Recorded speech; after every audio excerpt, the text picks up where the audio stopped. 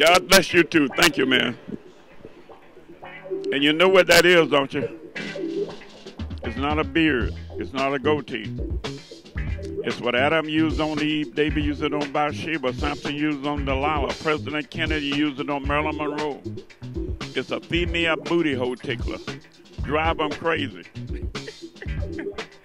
He's trying to grow one and I'm trying to grow one. Clarence Reid is one of the most talented people in the whole world. A world-class R&B singer, writer, producer in Florida, who also happens to be the filthiest rapper that you'll ever meet.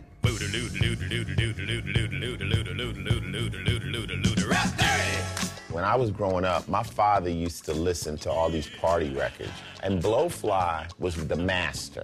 What's up?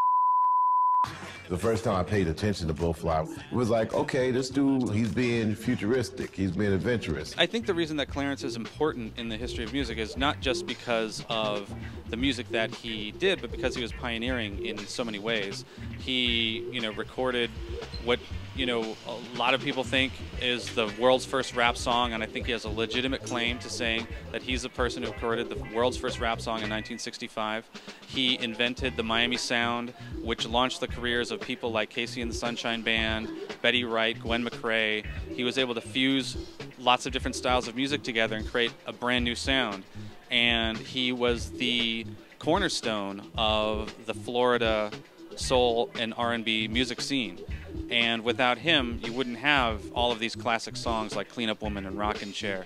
And uh, I think that it's important that people know that, that not only that he exists, but that he had those contributions. Well, Clarence Reid, the, the type, was saying, You're most special than anyone can imagine. You're the queen of heaven's special pageant. And I say this with all my heart. Angels in heaven knew from the start. Young lady, there's no one more special than you but God. That's Clarence Reid. Blowfly. Bitch, you are a tit smelling, fish smelling, whale wishing, no douching. Whoopi Goldberg's overused Pentecost discharge. Madonna's with this honor, glory, S1 pussy horn. Britney Spears pussy tears. Destiny Child pussy plies.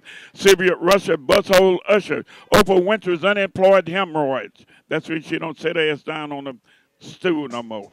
My name is Gary Gilmore, and I am a big Blowfly fan. Um, these are a couple Blowfly albums, and uh, I got involved with Blowfly on a personal level because I do poster art, and um, so I did some posters for some Blowfly shows, and I basically want to continue to do that. Well, I got my first Blowfly album when I was in high school, um, and it was one of those albums that I got just because it seemed really weird, you know, which is, you know, appropriate for Blowfly. Um, and of, I was surprised by how great the music was. The lyrics were hilarious, of course. The album was called Blowfly's Party, and he had songs on there called can I come in your mouth? And who did I eat last night? And uh, panty lines. And it was just it was a, it was a fun record but it was also filled with amazing music. And then unfortunately uh, I didn't listen to that album for 20 years because I got rid of my record player. And so a couple years ago actually about four years ago I saw the record in a box in my closet and I decided to do uh, internet search and just find out more about the guy and I found out he was still alive and touring and making music, and decided this is a guy I want to make a movie about. His writer's royalties are worth millions of dollars. He sold it for nothing. I don't like to talk about it because I get extremely pissed. Part of your life story goes in a matter of months. It's gonna be a spermy night in Georgia. A sperm. He made it a little funky because you know I'm a perfect angel. And he made me look kind of, okay, maybe I'm a little scumbag on there. You know, with Jonathan is great. He put out the real movie. They said, well, truthful things in life is true. There ain't nothing phony about that movie. All the, everything on there is true. Working with Clarence was uh, an unbelievable experience, and it was I, I really enjoyed every part of making it because every day that I shot, I learned more about him as a person, and I learned more about his music and his point of view.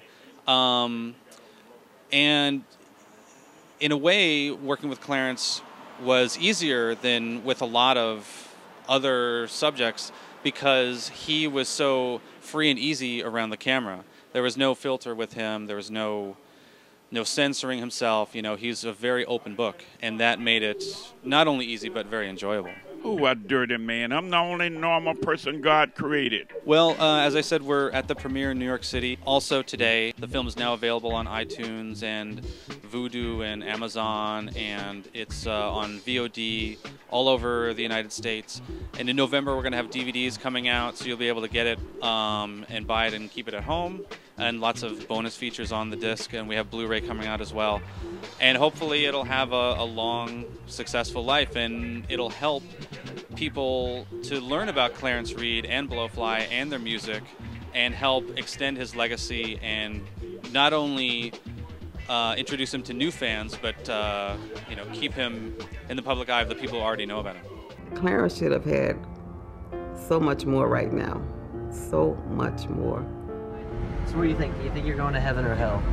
Uh, I wouldn't give a.